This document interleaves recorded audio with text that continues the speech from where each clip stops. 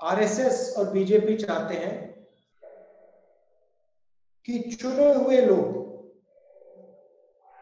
इस देश को चलाएँ। पूरा का पूरा धन चुने हुए लोगों के हाथों में हो।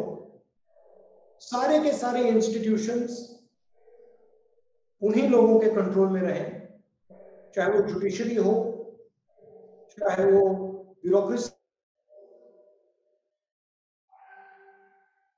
हो, चाहे वो आर्मी हो इलेक्शन कमीशन हो स्कूल्स और कॉलेजेस हो आरएसएस चाहती है कि ये सारे के सारे उन्हीं के कंट्रोल में रहे।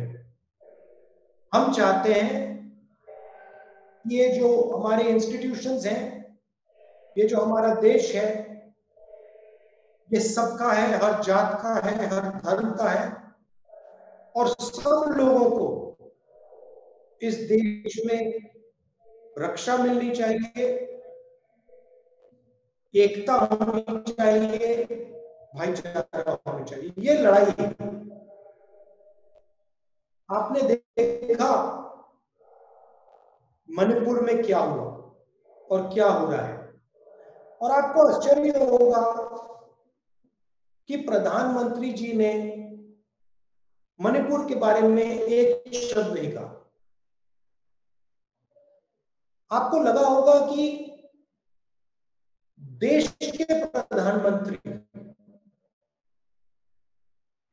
जब देश का एक प्रदेश जल रहा है तो देश का प्रधानमंत्री कुछ ना कुछ तो कहेगा। आप में से बहुत सारे लोगों को लगा होगा कि देश का प्रधानमंत्री हवाई जहाज़ में जाकर इम्फाल में, कम से कम इम्फाल में लोगों से बात करेगा। पिछले कोई भी प्रधानमंत्री होते, कांग्रेस के प्रधानमंत्री तो वहीं बैठ जाते। मगर आपको आश्चर्य होगा कि हिंदुस्तान का प्रधानमंत्री नरेंद्र मोदी मणिपुर क्यों नहीं जा रहा है? मणिपुर के बारे में बोल क्यों नहीं रहा है? क्योंकि नरेंद्र मोदी जी चुने हुए लोगों के प्रधानमंत्री हैं। आरएसएस के प्रधानमंत्री हैं। उनको मणिपुर से कोई लेना देना नहीं। वो जानते हैं कि उनकी विचारधारा ने मणिपुर को जलाया है। मगर जो मणिपुर में दुख है, दर्द है, जो महिलाओं को चोट पहुँची है, उससे नरेंद्र मोदी जी को कोई फ़र्क नहीं पड़ता। और मैं आपको गारंटी देके कह सकता हूँ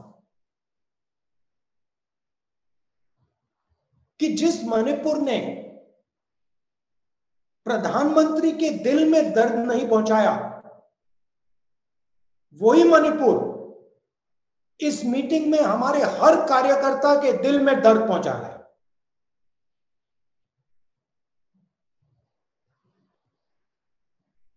कि आपको लग रहा है, हर यूथ कांग्रेस के कार्यकर्ता को लग रहा है कि भाई हमारे देश में लोगों को चोट लग रही है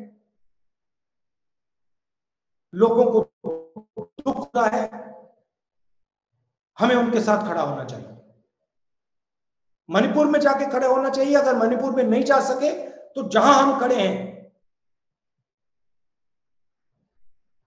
हमारे दिल में जो दर्द है, जो हमारी भावना है उनके लिए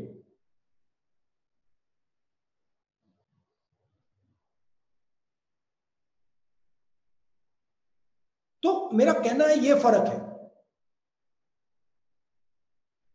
वो सिर्फ़ सत्ता चाहते हैं और सत्ता के लिए वो कुछ भी कर देंगे। मणिपुर को जला देंगे, बाकी देश को जला देंगे। हरियाणा, पंजाब, उत्तर प्रदेश, सारे देश को जला देंगे, क्योंकि इनको सिर्फ़ सत्ता चाहिए और कुछ नहीं चाहिए। इनको देश के दर्द से कुछ फ़र्क नहीं पड़ता, दुख से कोई फ़र्क नहीं पड़ता, इनको सिर्फ़ सत्ता चाहिए। और ये लड़ाई है।